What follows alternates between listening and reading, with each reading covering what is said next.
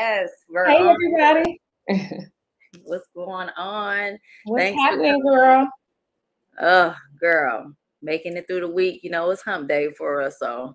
Oh yeah. yeah. So we talking about navigating grief.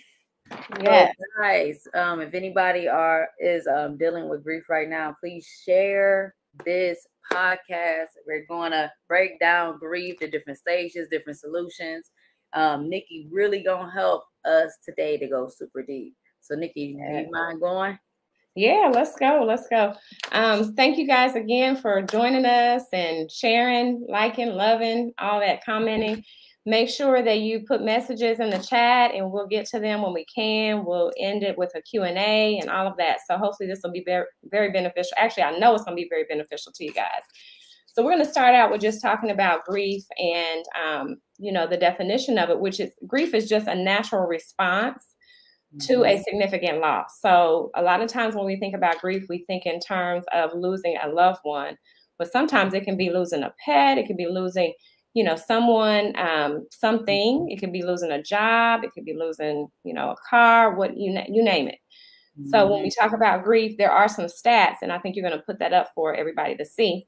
Yep, here we go. So 2.8 million deaths each year um, happen in the US, and that's according to the CDC. So we're all dealing with grief in some way or another.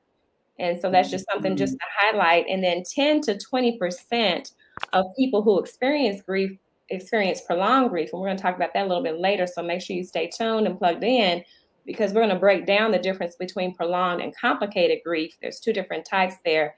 And then Nina, I think you're going to talk to us about a different type of grief as well. So we'll have plenty mm-hmm. of you know options to look at that. And then one more stat is 4.1% of U.S. adults mm-hmm. deal with anxiety and depression due to the pandemic. So the pandemic has really caused a lot of people to have to experience grief on a whole nother level, um, you know, than we've ever done before. So, um, so this is, I think this is, I feel like it's a message that is very important for so many people um, to be able to mm-hmm. know exactly what it is that they're dealing with or have dealt with, the definition of it, and how to cope. You know, that's why I'm glad that we're doing this so we can share with people some different tools and strategies to help them out.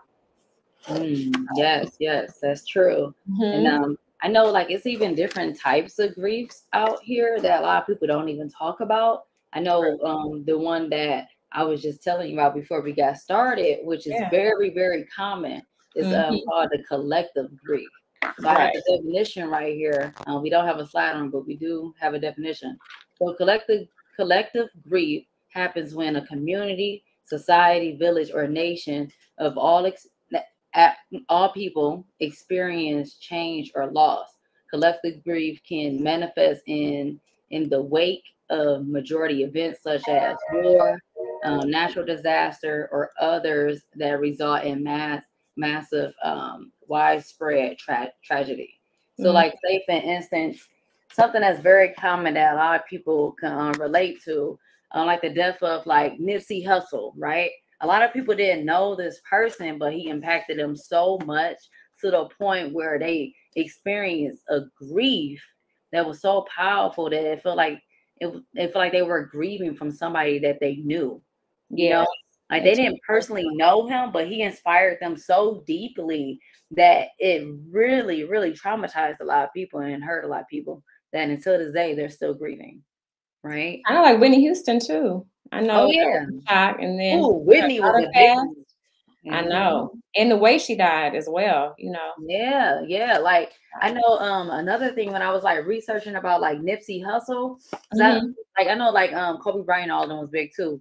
But like, check this stat out. So, um, for those that don't know who Nipsey Hussle is, um, Hussle was a hip hop artist, a father of two, widely beloved in South LA. Locate, he was like born there, born and raised. Um, he was um 33 years old. And this man, he used to um, be in like a gang. He used to be a crip and everything, but he decided to change his life around and really invest into music. And then he became an activist of gun violence and gang violence. So, like, his life was so empowering. And then on top of that, he took us to the next level where where he really started investing in the community, giving back, mm. and then studying what um uh, what's his name, Doctor um Sebi. Sebi. Yeah. yeah. He was working mm-hmm. on the documentary with him. You know, so it's this guy. A lot of people can relate to him, especially in the black community. We can relate. We see this this black figure figure that came from you know the hood, and he came up, and he's doing good. Helped his people on the way. Yes, he the helped community. his people. Mm-hmm. You know, so like well, you know.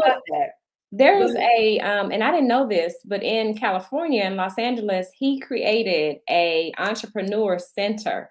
Yes. And I believe it's called Vector 90. And so it still wow. exists to this day. I had gone over there and I did a tour, and it's all for entrepreneurs. It's like a, a, shared space where people can go. You can have office space there or what have you. It is so we have to go out there one time and, and check it out. Yeah, we definitely you know, because like this this guy is amazing, but it's crazy how and this this is not just him. I'm just using him as an example. Right. But like this man did all these great things, right? But a lot of people said they know who he who he was. Mm-hmm. But the mm-hmm. moment he got murdered, right, and it was captured on camera, mm. it went viral. Wow. It went viral. He had over 1.5 million accounts share his death, right? They call wow. it trauma porn. They they shared his death all around the world, right? And after Instagram and Facebook deleted this video, 300,000 people still shared it. Mm, mm-hmm. He was more known when he passed away compared to when he was alive. Wow. The legacy. Yeah, like it's crazy. Mm-hmm. Like even like Young Dolph, a lot of people didn't know who that was. Um, I feel like everybody know Mike, Michael Jackson, but like course. even like the the death of Kobe Bryant, a lot of people they didn't know who Kobe was, but they they related to the story so deeply because he died with his daughter and on top of the the pilot, the pilot, and then the family. Like that grief, it resonates so deeply with people. So I, I, remember when I heard about his death, about Kobe's death, I was in yeah. church in Los Angeles, you know, and I actually was listening. It was um one church community, one mm-hmm. church, it's called one church, wow. in Potter's House. And so anyway, I was in church and then all of a sudden the pastor comes out and says it. And I'm like, everybody just, I mean, everybody's freaking out. They're screaming in church. I didn't believe it. I didn't believe it. I thought they was messing with us. Nobody did. Because it's so tragic. Mm-hmm. Like it is so ah. sad. But that's right. where like like I didn't have people where I have friends that was girlfriends. Um, mm-hmm. like they, they boyfriend was grieving Kobe's death but they didn't understand it. They didn't even take it seriously. Mm. They're like, how mm. can you grieve somebody that's that that you're not related to or you don't even know, right? Mm. But we that's have to start, yeah, we got to start taking this stuff seriously. Like collective grieving need to be a thing because a lot it, we got all these rappers and artists and all these amazing people like Maya Angelou, like all these people passing away. That's and when right. they pass away, our people still need to be treated kindly with respect. So right. all of these steps that we're gonna break down today, I feel like we should still follow them when someone is suffering from collective grieving as well. Absolutely. So I want to use that example because that's a type of grieving that a lot of people are not familiar with and a lot of people don't take seriously. And I just think it's unfair.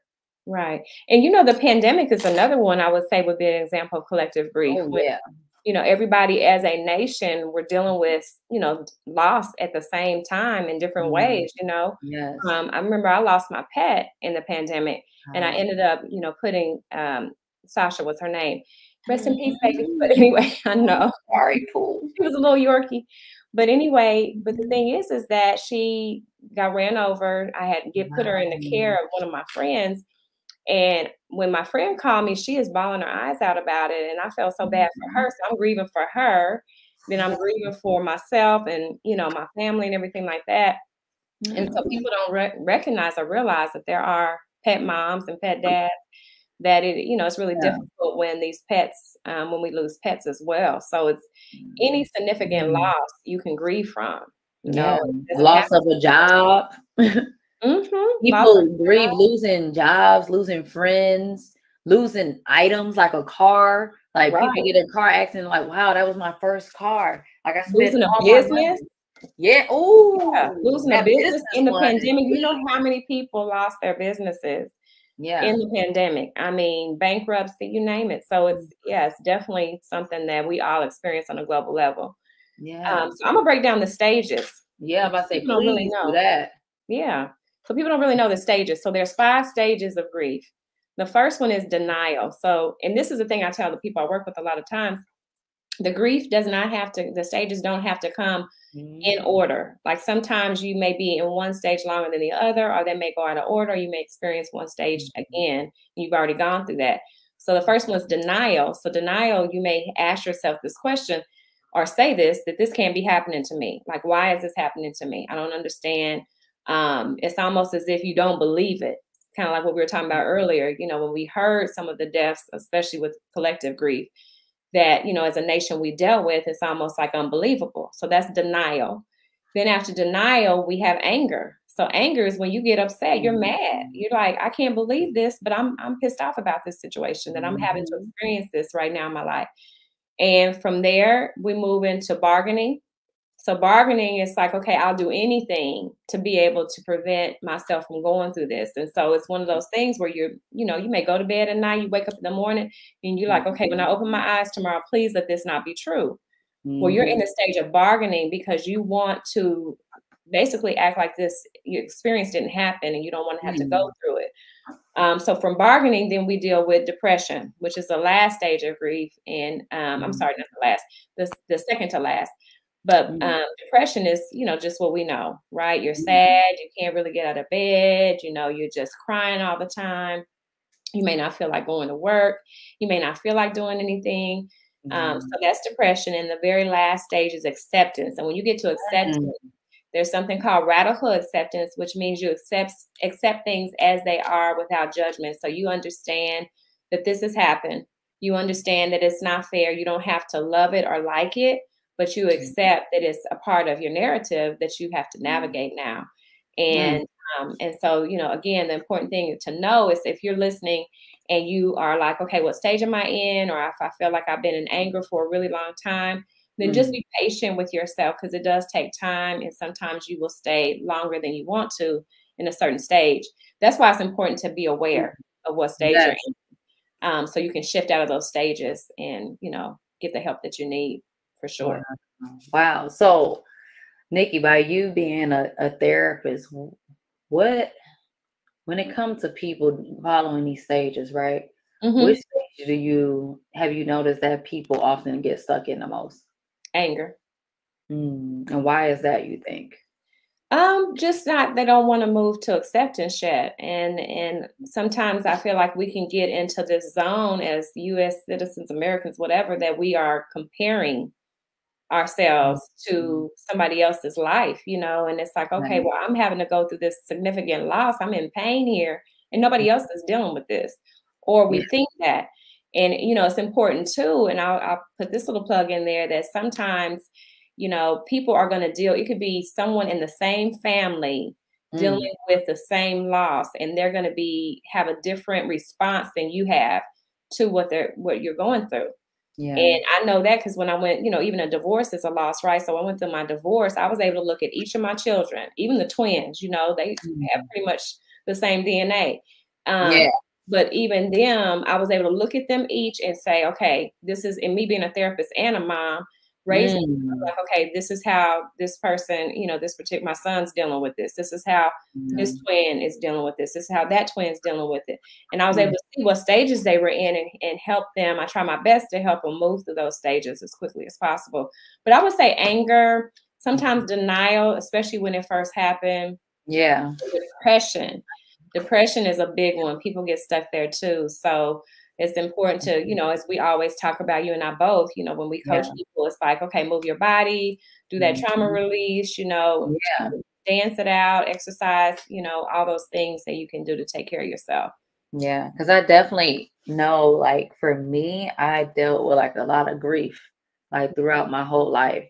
Mm-hmm. And that's what um I realized um, that's what caused me to become numb because you get so used to losing people, and then next thing you know, you end up losing yourself. Mm-hmm.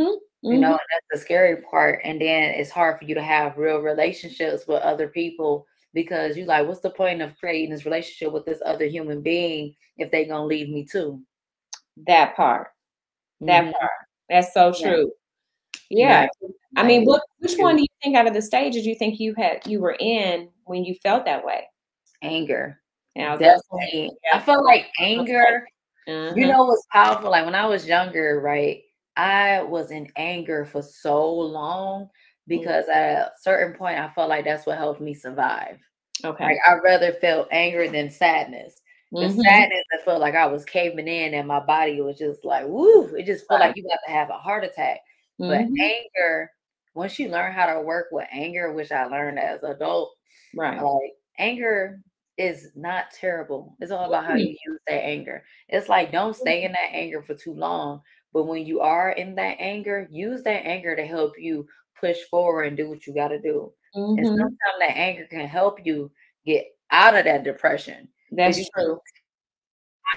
Yeah, I like how you said that because it almost as if it causes you to take action because you're just so mad. It's like I'm gonna do something, and you yeah. know, hope, you know, a lot of times it's something that is going to be positive that you do yeah. outside of that. It's like you want to move past it so fast. So, yeah, yeah, I think yes. that's really good. Mm-hmm. I think it's I think it's also good. Like the other things a lot of people don't talk about is um, what to say or what not to say to a person that's grieving, right? Yes. So yeah. I wanted to go over that real quick so people can have an example. So I'm about to pull up this slide. All right, guys. So if you have like a pen and paper or just take note and really pay attention to this, what not to say to someone grieving, right? I would say like the first thing is I know how you how you feel. It's impossible to know how everyone is feeling. Everyone is different. And like when you do that, it's like you you're with them in that situation. You're sitting with them and you're being with them and you're not judging them and you're not expecting them to act a certain way. You know? So I think that's very important too is allow people to grieve how they want to grieve and just be there and support them and listen to them without judgment. Another one I would say is right here. It's time to move on it it it takes time. Like, who are you to tell them what's the time limit on grieving? Right.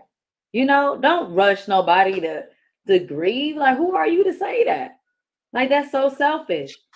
Like, everybody got a time limit. Everybody, everybody get, uh, has their own process. Allow them to be in that process. And when you allow them to be in that process without judging them, mm-hmm. then more than likely they end up getting out of the grievance process quicker than you expect. And even if they don't, just be there with them in that moment. Love on them. A lot of times we become impatient with our loved ones because we don't have patience for ourselves. Right. So you really want to do that. Another one, at least they're in a better place now. Okay, but they're not here with me. like right. people don't want to like they don't want to hear that. They don't want to mm-hmm. hear that. Mm-hmm. Okay, yes, I know they somewhere else, but at that moment, at that time, they want them close. So the last thing they want to hear is that they in a better place now. Okay. Um, everything happens for a reason. They wouldn't want you to be sad.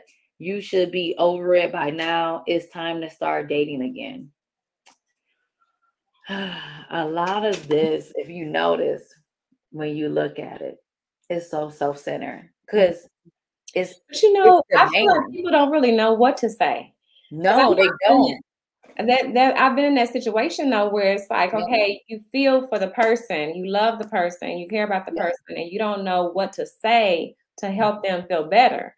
Yeah. So sometimes you, you know, the best thing for me, what I say is don't say anything other mm-hmm. than I'm here if you need me. So sometimes that means like you just sitting next to the person. It's like, I'm not gonna say anything. I don't you, know, you want me to say something, then let me know. But I just want to let you know that I'm mm-hmm. here, sitting right here next to you, helping yes. you in any way that I can, wanting to help you in any way that I can. So, you yes. know, I, I feel like when I think about that list, there's times that I've said, you know, um, I know how you feel. Like that is, yeah. you want the person to know you're compassionate. But here's the thing, yeah. kind of going back to my children, they don't, you know, they didn't even know how they're feeling, you know. So it's like yeah. you can't say that you know how the person feels because you're not that person. Yeah, completely different. A lot of times it's like you.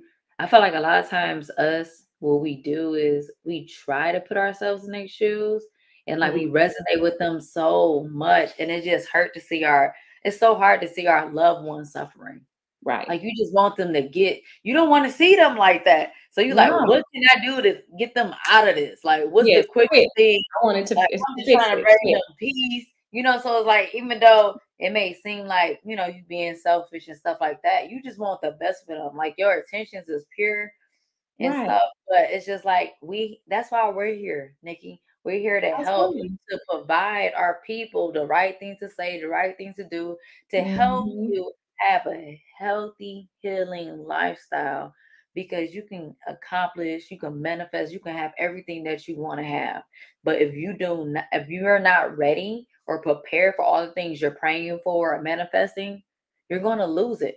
Mm-hmm. You're going to lose it. And that's why we're here to help provide you with the tools and the skill sets that you need so you can keep those things that you work so hard for and you pray for and that you ask for. Absolutely.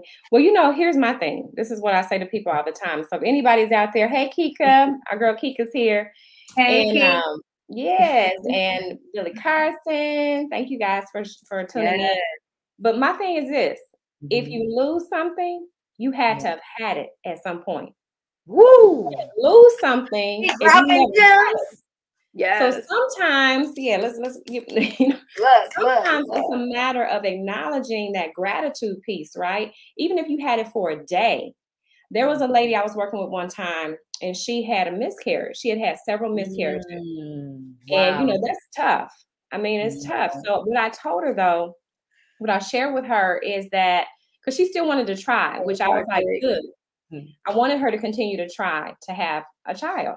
But yeah. I said this to her I said, the fact that you got pregnant, even though you lost your child, the fact that you got pregnant multiple times, to me, mm. maybe you can focus on the fact that you were able to conceive. So it's not like you're not able to conceive. Yes. But yes. it's just that you weren't able to carry full term. So how about this? How about set that meditation, that intention, that belief that you can carry full term now. You, you, know what I mean? So, mm-hmm. hey, Crystal, that's my girl. Yes, yes, thank you. Yeah, so mm-hmm. so here's a you know I feel like when we're talking about grief, it's so heavy and it's something mm-hmm. that we all can relate to. Because yes. we've all lost something, but if we spend time also being grateful for the fact that we experienced it, mm. you know, if you lost a marriage, you lost um, somebody in your life that passed away, they mm-hmm. were in your life at one point. Yeah. And there were many good things that you probably experienced with them. So focus on that.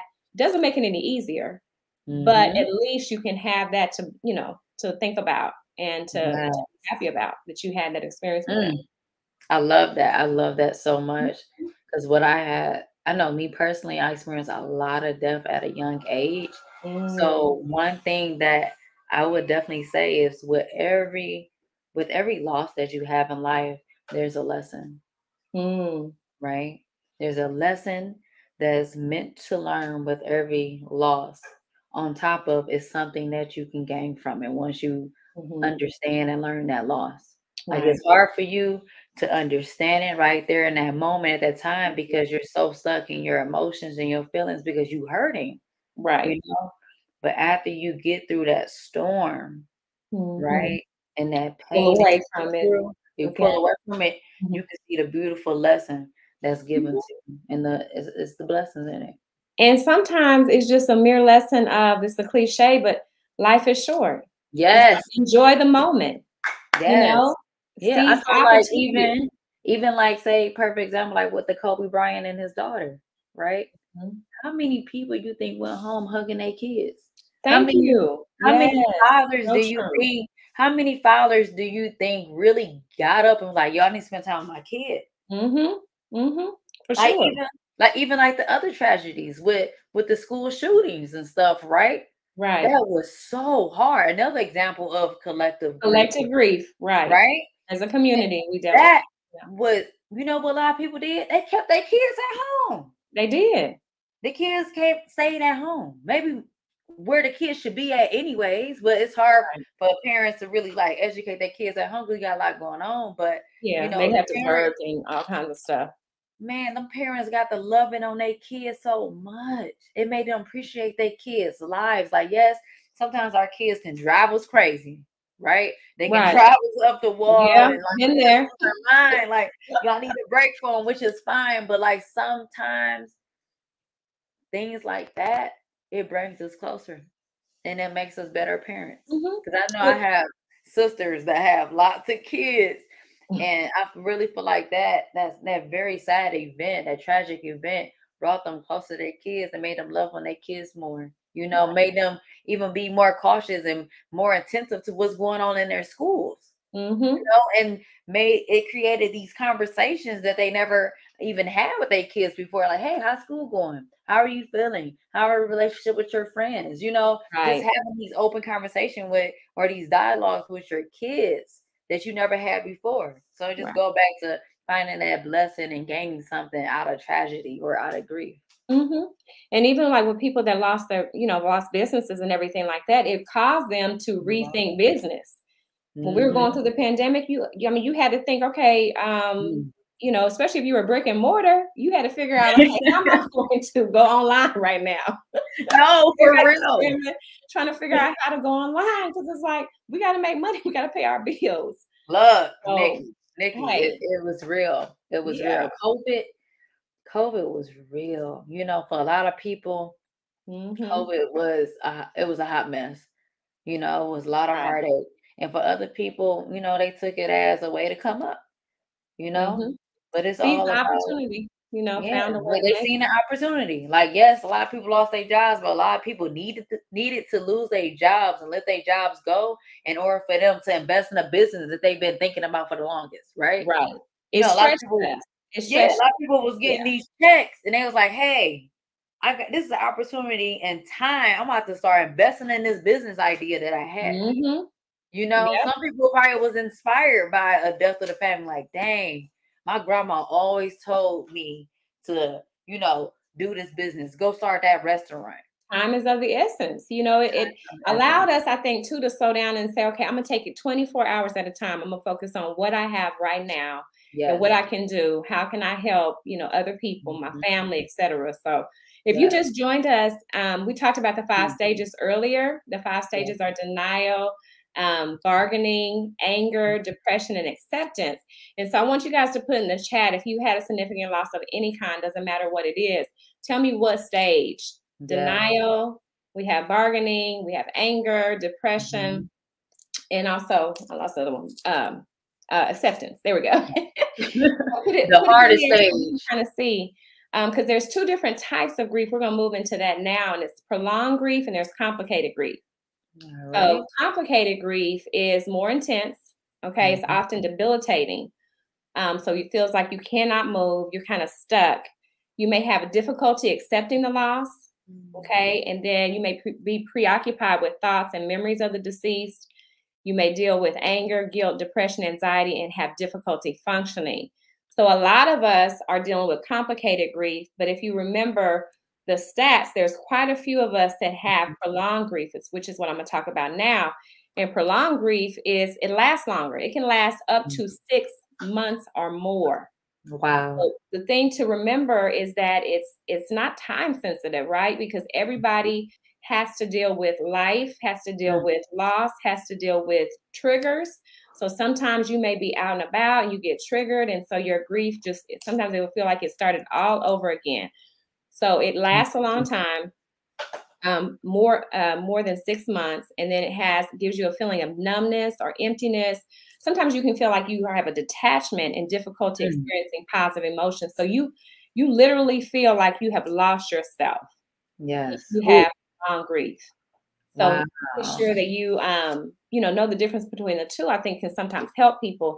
And yes. I'll just this is an opportunity to say, make you know, the advice that we give are strategies and we talk about solutions. Yes. We talk about real mental health issues and concerns, yes. right? And so Thank you, you know, make sure that you check in, you get medical advice, you talk to a doctor, you go to a therapist, and you get a diagnosis for yeah. whatever's going on within your body. So, you know, I'm not saying mm-hmm. you have prolonged grief or complicated grief, but yeah. it is worth checking into, especially if you feel like you've been dealing with this for longer than six months. Yes. So, Nikki, before we go on commercial break, uh, I'm yes. going to take some time to answer some of these great, great questions. Okay. Um, so we have this one right here. I would like to answer first. You want to go ahead, Nikki? Okay. How do you get others to understand your thought process without making them think you're trying to force them, even though you're just passionate? Um, mm-hmm. thought mm-hmm. process about I'm assuming mm. about grief. Are we talking about grief there? Yeah. I'm assuming we're talking about grief. Okay, Wait. so we're talking Wait, where he he said something else. I come from multiracial family. So I feel that there will be no. Oh, okay. I see. Okay. Okay. Thank you. Um, thank you for thank you for for clarification that clarification. I just I believe transparency. Just mm-hmm. um, you know, if you're in a relationship that's multiracial, um, just making sure that you're sharing your narrative with that person yes. and understand that they may not ever understand.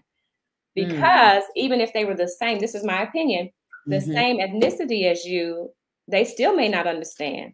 Yeah. I don't know if if um let me overanalyze this was on when I talked about my children going through an experience a loss and mm-hmm. each of them dealt with it in different ways and it affected them in different ways you know as they went through that that tough situation so mm-hmm. um, one i felt put on some weight one was dealing with anxiety one was mm-hmm. choosing wrong in terms of relationships and all of mm-hmm. that and so um, sometimes just knowing that the person may not fully understand, you just do your best to explain it to them.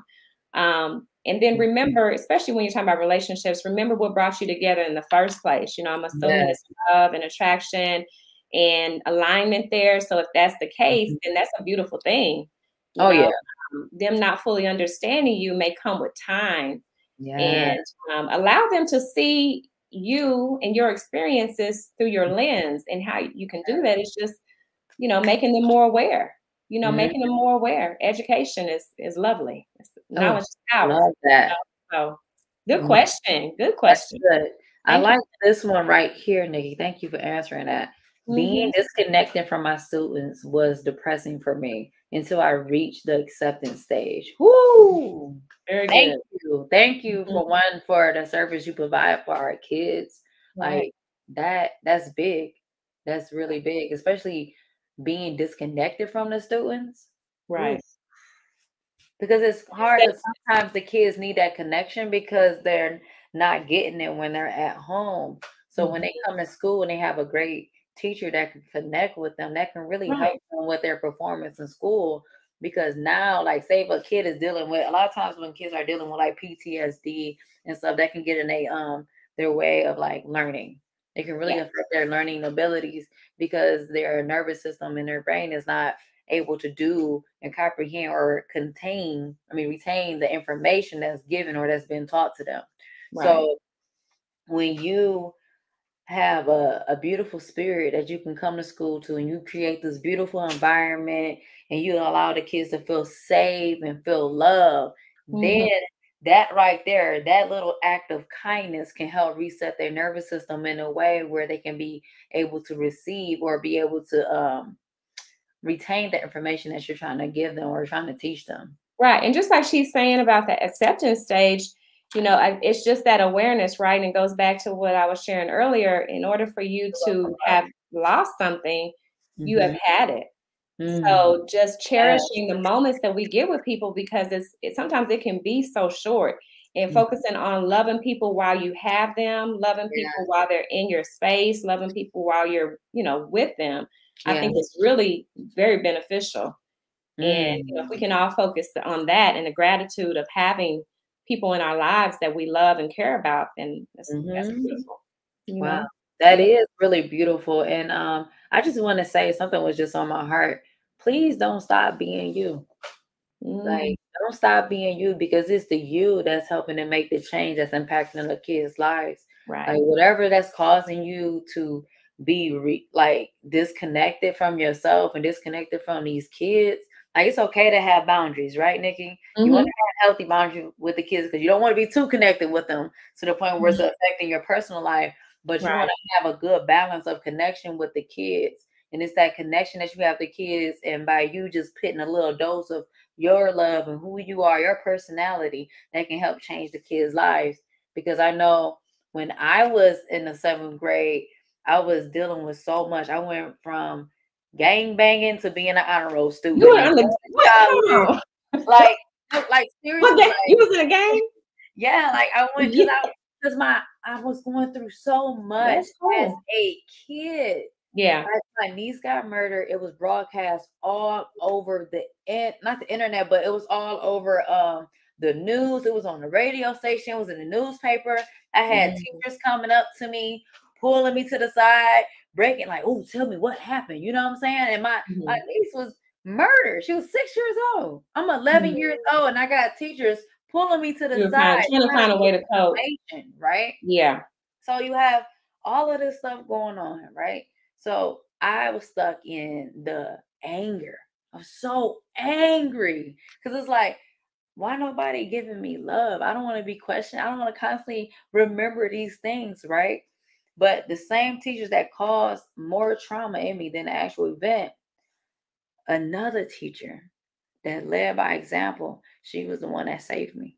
Mm. She was the only person outside of my family, or even outside of my family, that set me down and showed me tough love. And she said, "You know what? Don't no man want no ugly, want no dumb woman. Mm. Like your behavior, because it was getting like I had PTSD and it was affecting my way of learning because mm-hmm. my mind wasn't in it wasn't present. It wasn't where i was at. It was like mm-hmm. i'm constantly thinking about what happened with my niece. I'm constantly thinking about what's going on at home. Constantly thinking about you know what's going to happen a lot, of, a lot on your mind. Mm-hmm. all these distractions right? Mm-hmm. but the moment i met somebody that believed in me and they didn't see me just being a, a kid acting out trying to get attention all that stuff she saw me she was able to connect with me in a way that saved me. And I trusted her enough to allow her to guide me to the right path. And until this day, that was in the seventh grade, until this day, this mm-hmm. woman mm-hmm. with me through middle school, high school, and college, and now me getting ready yeah. to get married. Wow. So so don't don't don't change who you are. But sorry about going over. Um, but We'll be right back. We're gonna have a quick commercial break. If you guys need to grab a drink of water or you know you need to grab a quick pen of paper real quick, make sure you go ahead and do that. But we'll be right back with more for you. We'll be back. Hey everybody, it's Billy Carson, also known as Forbidden Knowledge. I want to talk to you about a very special event coming up July 30th, 2023 the Forbidden Conscious Awards, the first annual event of its type. We're going to honor people who have been contributing to the conscious community for decades. People that you know and love that have helped you get to higher levels of thought and consciousness and awareness. And guess what? It's time to give them their flowers while they're still alive. It's going to be a live in-person event, but seats are going to sell out very fast. You want to make sure you're there in person for this amazing level event. It's going to be above the Oscars, above the Grammys. And guess what? You can help vote for the winners. Voting is available on 4biddenknowledge.com. And the categories are going to be social media influencer, podcast slash radio host, TV host, actor, director, producer, entrepreneurs, health and wellness, philanthropists, authors, field researchers, archaeologists, space anomaly hunters, and of course, a Lifetime Achievement Award. And you want to be there in person because I'm going to be speaking. That's right, I'll be your keynote speaker that night at the Forbidden Conscious Awards. If you want to come to a mini conference, this is the place to be because I'm going to give you the knowledge that night as well as performances.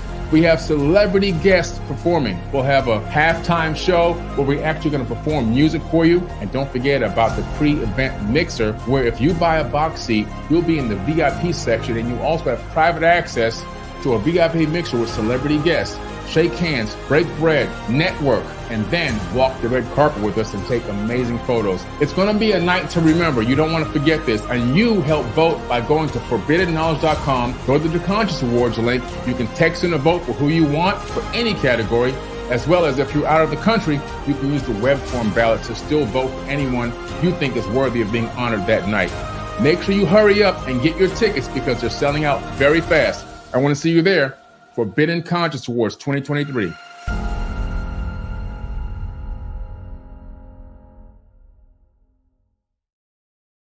Man, I can't wait. I know. I oh know. man, I'm excited for the Conscious Awards. I can't wait. Oh, it's so interesting. I was going to ask you to put her her comment up. Wow, Sheila, see, we connected. We connected, we girl. We connected. I was I, going to go ahead and ask you, like, let's talk to this one Like, yeah, thank Sheila, you. thank you thank so much you. for um for commenting. And I just want to first of all give my condolences mm-hmm. um to your loss. And mm-hmm. I want to ask so you, hopefully, yes, hopefully you have um reached out to a therapist if you especially if you need closure. Um, mm-hmm. and you know get some counseling um, as you go through the process because one thing that you know it's, it's not time sensitive it can take a long time. It can take, you know, maybe for the rest of your life, but there's some things that we're going to talk about. Stay tuned because we're going to talk about some different strategies and some solutions, some things yeah. that you can do to manage it mm-hmm. as you, you know, continue to cope. Yeah. But um, but yes, I know that it's it's definitely not easy um, going through any type of loss, especially one that's significant. So thank you for your comment. And mm-hmm. hopefully something that we say tonight will be helpful to you um, as you continue to heal. So, mm-hmm. um, yes. Oops, sorry about that, but yes, um, I think that's perfect. Like, well, I didn't mean to. I was like, we lost her. nope, I'm here. I'm here, but I was listening. But that really did touch me. Thank you for sharing your story as well, and you're welcome to everyone. Um, like what you have to understand. What I learned was our stories is not ours to keep. It's meant to mm-hmm. share. And yes. when we become comfortable and we learn how to love ourselves, and that's our, and we stop judging ourselves, Mm-hmm. Then we're able to share our story and to help heal the world because we all going through something. We all experience something, and it's power in our stories. Oh yeah, meant to share, but it took me a minute. But going to going back to like really talking about grief, I think this next topic that we're going to talk about, which is mm-hmm. what to say. Nikki's going to break that down. I think this is perfect for people right now that's going that's grieving, or if you know someone grieving, please take notes of this and please like really share this um our episode with people because this this this is serious. This is big. Mm-hmm. There's a lot going on in the world, y'all, and this is very powerful. So um Nikki, I'm about to pull up the slide for you. Okay. And, um I know she's about to about to break down what to say to what someone. To say. We talked about earlier what not to say. Now we're going to talk about some some research, some things that we found that you can say to your loved ones as they're going through, or to yourself even. Mm-hmm. So I is missing from there, but I'm sorry for your loss is one of them. So that's mm-hmm. letting them mm-hmm. know. It kind of helps them understand that you do care yeah. about what they're experiencing. Mm-hmm. Um, I'm here for you if you need anything. So that's just confirmation, letting people know that um, that you're you're there. I can't imagine how difficult this must be be for you. Mm-hmm. Um, allows them to understand that you know you don't think that it's no big deal you don't think that um, you would handle things differently like you're on it being honest that you couldn't mm. even imagine what they may be experiencing because they're not you at the end of the day mm. they're a completely different person so respecting the fact that they're mm. different than you and acknowledging what they may be going through um, mm. would you like to talk about it it's really good because it you know it opens up the the floor for them you're not forcing them you're actually inviting them to share with you whatever it is that they want to share to their comfort level, not to yours, but to theirs. So, would you like to talk about it? And if they say no, being okay with their no, because obviously they're not ready yet, or maybe they don't have the words to say. It's such a mm-hmm. significant loss that they're still trying to figure out where, the, you know, where they're at in terms of how their their mindset is. Yes then take all the time that you need you know giving people a pass mm-hmm. that you understand that it does take time you know you don't know exactly what stage they're in and you're okay with that that you're there. Um, i remember when share positive memories about the person so that's really good because it allows you to think about the fun times and the good memories that again we didn't have to experience but because we did we know that you know this was meant to be Yes. Um, that relationship, that no matter how long or short it was, having that person in your life, no matter how long or short it was, having that pet in your life, having that job, having that car, that home, for whatever season of time, we know mm-hmm. that that was a part. It was a part of your story because it did happen. Mm-hmm. And then I'm thinking of you is another one, and that can be any of these can be sent via text. Of course, it's great if you get on the phone because it's more personal. Mm-hmm. Um, great if you can see them face to face because it's more personal, but then understanding that people do have boundaries with that. And mm-hmm. sometimes they it just takes them time to want to be able to communicate with you again because again, they're mm-hmm. still trying to navigate stuff.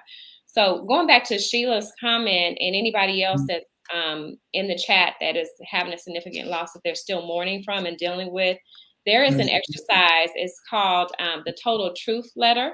Mm. The Total Truth I Letter by Jack Canfield, who is mm-hmm. huge in the mental health space. And so what it is is sentence stems that you basically read and then you answer as if you're talking to that person. Some of you mm-hmm. guys that are listening may be familiar with the empty chair which is when you can sit in a mm-hmm. chair and then you have an empty chair in front of you and you pretend like you're having a conversation, some closure with that person. Um, mm-hmm. Um, some people can do that through journal work too. And I lost my birth father, um, what was it, seven years ago. And he and oh, I, wow. yeah. I didn't know that. Close, yeah. Yeah. We weren't that close because I was raised by my stepfather. But mm-hmm. I remember at the end of his life, he had cancer. I knew he was dying and he only had a couple months left. So we, I flew out there with my aunt, mm-hmm. and I had that closure conversation with him. And one of the questions I asked him was, why wasn't he in my life and why he didn't raise me? Because I didn't understand that, right? Even as an mm-hmm. adult. And he said the most beautiful thing to me that I still hold dear. And what he said to me is that he knew because of the lifestyle he had chosen, he wasn't fit at that time to be mm-hmm. able to raise me. He couldn't give money to me. He was you know, heavily involved in so many different things, which gave me a lot of peace. But mm. I bring that up because I did the Total Truth Letter, which is what I'm recommending to you guys look up. I did that several times um, in the mirror, and I just practiced and pretended as if, you know, he was there and just having that closure conversation with him. And, you know, each time you do it, you cry, you do all that, give yourself permission to release whatever emotions show up, whether you're a man, a woman, or what have you Men mm-hmm. cry, boys cry, girls cry, anybody can cry. Release those those emotions that are tied to that. But that's really good. It's called Total Truth Letter by Jack Canfield. Mm-hmm. By Jack Canfield. So um, but yeah, so that's an, an, example of something you can do, and you can do it as many times as you need to because each time you do it, I did it a five, five years apart, and I still had more that came up that I wanted to get off my chest. Wow. So, yeah, it, it gives so you Mm-hmm. Yeah, that's good. That's what we're gonna go into now. Is just going over the um, just going over some activities and some things that you can do at home or with loved ones that can help you overcome grief or help you get through grief. I know one that really helped me, Nikki, was um breath work. Mm. Like doing some. Um, learning about breath work. What which breath work? What type do you prefer? Oh man, it's so many different types. Huh? I know about box breathing. In for four, hold for yeah, four, box breathing is good, but it's like so many different type of like mm-hmm. um techniques to like breath work. Like it will blow your mind. I know, I know. I went to I a workshop one time. We were on the mat and we were oh. breathing oh. and all these different. I yeah. never knew how powerful breath work was until I really started doing it on myself. But the okay. thing that helped me to start doing it is um, I was grieving. I was grieving the loss of having to release a friend. Mm. And it was hurting me so bad. I was just angry. I was once again my favorite phase. Mm-hmm. I'm always stuck in the angry phase. Mm-hmm. And I was just so angry to the point where I noticed that it was coming out like mm. on people that didn't deserve it. Can I ask you what you were angry about? I'm you know um sometimes because i think people may need to hear that like yeah. give themselves permission to be angry for a period of time so what yeah. what do you think was the root of the anger the root of the anger is um it felt like a death because i know the person for 21 years you got 21 years of friendship and wow. then you realize uh, out of that 21 years of friendship you experience so much betrayal hmm so much. And then it's like sometimes we have these high expectations from for people in our lives, right? And sometimes we forget that they're human. Like we really do. We forget that they're human. Girl. You know, that's the thing, you know, like we really do yes. that they're human. And we put them in these on these pedestals, just like mm-hmm. some of these mm-hmm. people we look up to. We put them on a pedestal. And the moment they show us or they do us wrong, we be so quick to blame them, but at the end mm-hmm. of the mm-hmm. day, the anger is not it's not them, it's us. Mm-hmm. It's us. We have the mm-hmm. moment we start realizing that we all are human beings and we're having this human experience, right? Sometimes it's unspoken expectations too. We, yes, we believe that this so other real. person is going to be able to do X, Y, Z, but we haven't communicated that to them. We just want them to know how to love us. And I'm not saying that's your case, but sometimes that is the case where it's that communication piece I feel like is missing a lot of times, where it's like, yeah. no, you know, maybe, you know, mending fences with the person is a possibility just by communicating with them. Even though there's toxicity there, do you feel like you guys communicated well throughout the course of the 21 years? So the thing was, this whole time, mm-hmm. I thought this person was like so real. I thought it was the realest person I ever knew in my life. I told this person everything about me, right? Mm-hmm. But I feel like we get stuck in these roles. And that's where a lot of friendships and stuff and relationships fail because people grow. And when people yeah. grow, the roles apart too. Right? They grow apart, you know? And I felt like in our friendship, I started to really growing to the point to the point where I outgrown this person. So I used to go to her about everything, right? Mm. Everything. Then it got to the point where I started solving my own mess. Mm. I started solving it. So now I'm coming to you. I'm not coming to you with problems no more. I'm coming with you, coming to you with solutions. And now I'm trying to have real conversations that's outside of my mess and my drama. Right? Okay. But this person is still playing this one role that she don't need to play no more. Yeah. You know, and they stuck there. So the moment some people feel like they're not needed, it's scary and it mm-hmm. drives them crazy. And then sometimes when people are in fight, people not mm-hmm. familiar with the flight and fight, but when mm-hmm. you're in fight, you do some things that's harmful because you're just trying to you're in survival mode. Even if protect yourself by running away. Yeah. Yeah, you're trying to save their their friendship. And that it end up separating us. It end mm-hmm. up destroying us to the point where I I don't know. It'll be so a does miracle. It, does it help now to think about it and say, you know, that you're appreciative or grateful for the good times? Are you able to oh, get? Sometimes it takes a while to get to that point, even. So I'm not saying you're supposed yeah. to be there because you know. Yeah. Yeah. No. The stage is the stage. Once I was able, I feel like the anger is what did I what I needed to get out of the friendship. Mm. Right once I was able to finally like have the energy, like that anger gave me everything I need to just hop out and stop making mm-hmm. excuses for this person and stop. Started, girl, that anger was like, uh-uh, I'm out of here. You know what I'm saying? like, like, you know, so once I was able to use my anger to help me get out of it, then I was far enough from it and I was separate from the situation. I was able to sit down. And that's when I did the breath work and the trauma release on myself and I was able to Good. really, hey Jordan, I was able to really be able to find a real issue. I'm gonna tell you something. Having a friendship end, whatever way it ends, is painful. Ooh. Okay? Yeah. it's painful. Especially when you talk about a long-term friendship. Sometimes it is, it's, it's, it's like more painful do it than like a uh, like breaking up with a loved one.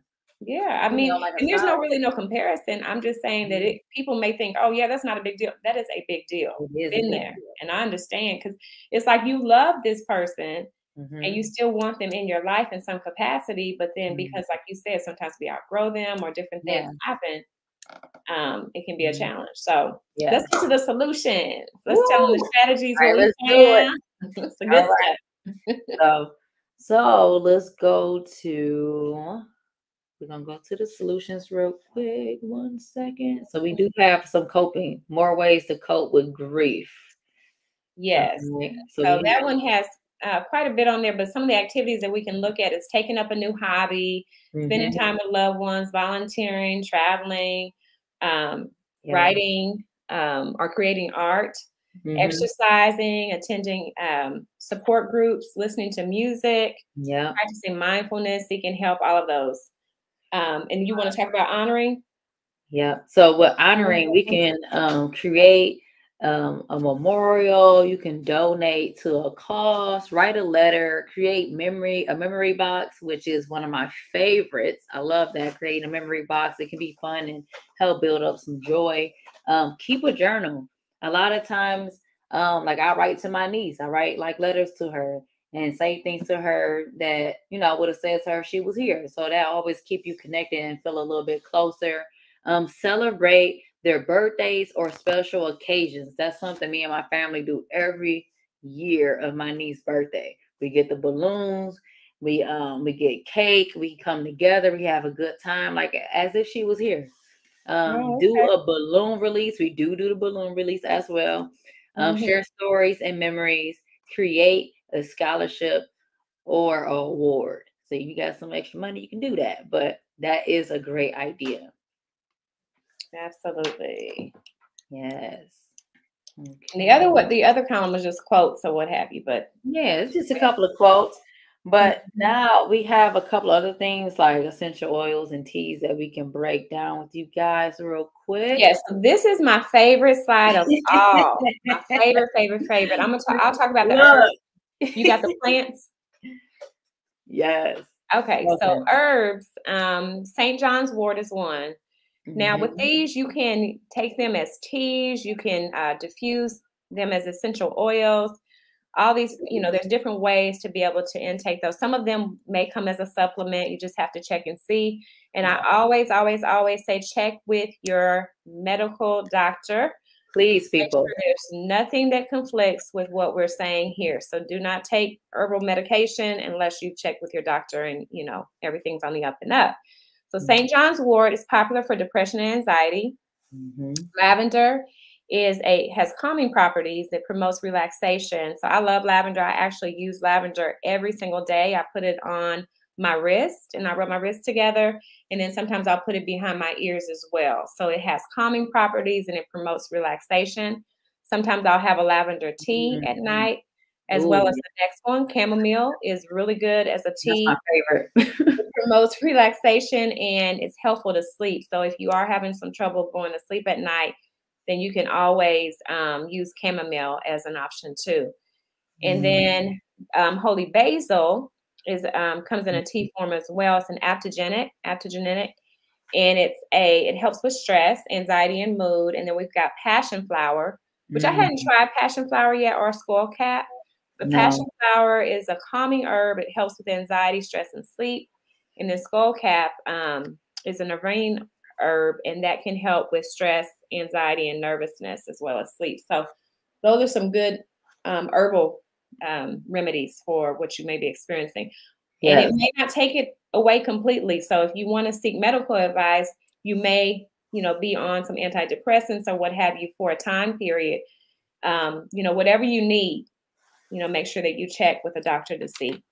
Yes, definitely. And then we have plants that may help. So aloe vera plant, which is one of my favorites, is um, really good to promote emotional healing and a sense of comfort. That's definitely a really good one. You can use aloe vera plant for so many different ways and di- different mm, things. Mm. Like for your skin, it's very healing for your skin, your hair.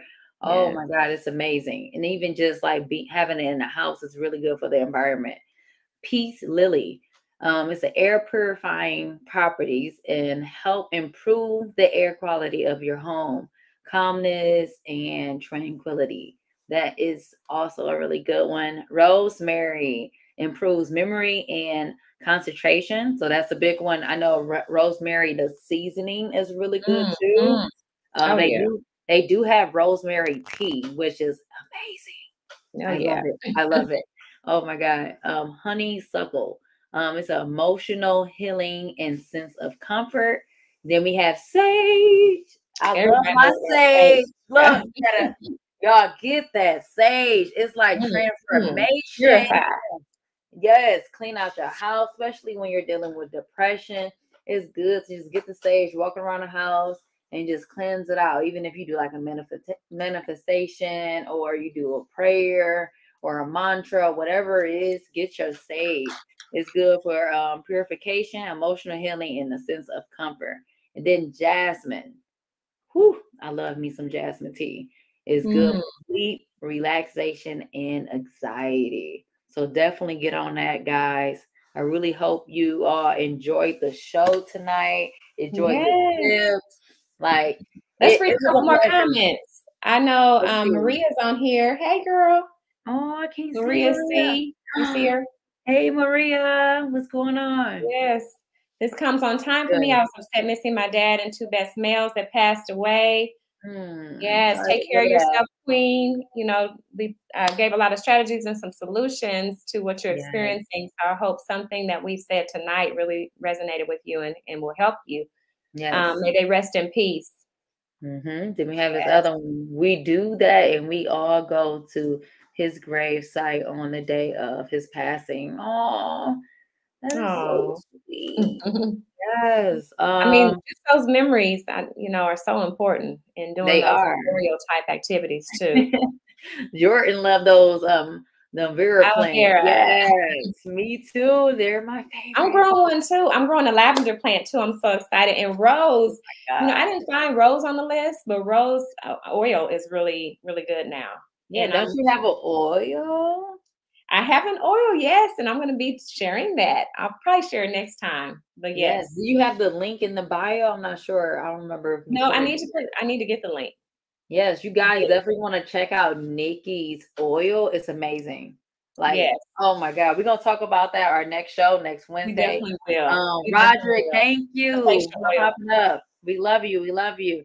So, if anybody have any comments or anything, please let us know. If you have any last questions, that's awesome. But let's let's see. If we have a few minutes. Jordan, thank you, thank you for being here with us. Thank you, Jordan. Yeah, we appreciate you so much. All right, but um, it looks like that's it. So for tonight, please share this um, episode if you found it any help or if it helped you tonight, if you learned anything, please share this to a loved one that you feel that might need this information, or even a friend, or even just save this um, video or like mm-hmm. it or mm-hmm. share. So just thank you for being here today. We appreciate you all. Anything and we wanted to give you guys some slides too, because I know sometimes we're just, you know, we're talking about so much information. Um, you can always screenshot it, and that way you mm-hmm. have it mm-hmm. for your own, you know, to be able to keep it yourself. Um, Please screenshot these. Yeah, yeah, because sometimes you forget, and it's like, okay, what did they say again? So these are all tools and different things that we found that can help you as you navigate this. But just know you're not alone. That there's mm-hmm. people in place that can help you talk. You know, there's things you you you know can do to mm-hmm. to feel better. That's the whole goal, right? Yeah. That's the strategies that we need. So there's there's solutions out here, which means there's hope. So don't oh, give yeah. up, guys. And you're not alone. That's why me and Nikki is here to help and provide you with the resources and tools that you need to support you to have a healing lifestyle. Yes. Thank you guys for being here, your support, your comments, all of that. That means so much to us in the Forbidden Knowledge family. Yeah. We are growing. There's so many people coming on the platform now and the network, and it is just amazing. I love, and I always say this, you know, you know, I say this all the time, is that it's so diverse. You know, you can get a little bit of everything that you need right here on this one network. Like, yes, it's so powerful. You know, Kika just started her new podcast Mm-hmm. And you know, it's on business and franchising and all of that and making money. You know, we all know how to make money and keep it. That's another thing mm-hmm. we didn't talk mm-hmm. about the grief of losing money. No, look, look, that's a whole nother, that's a whole nother episode. But yeah. you know, finding ways to rebuild and to gain income again, especially if you're an entrepreneur. You know, make sure you tune into her her um, podcast as well.